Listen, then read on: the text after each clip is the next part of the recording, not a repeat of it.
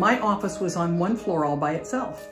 And had I stayed there, I wouldn't be here.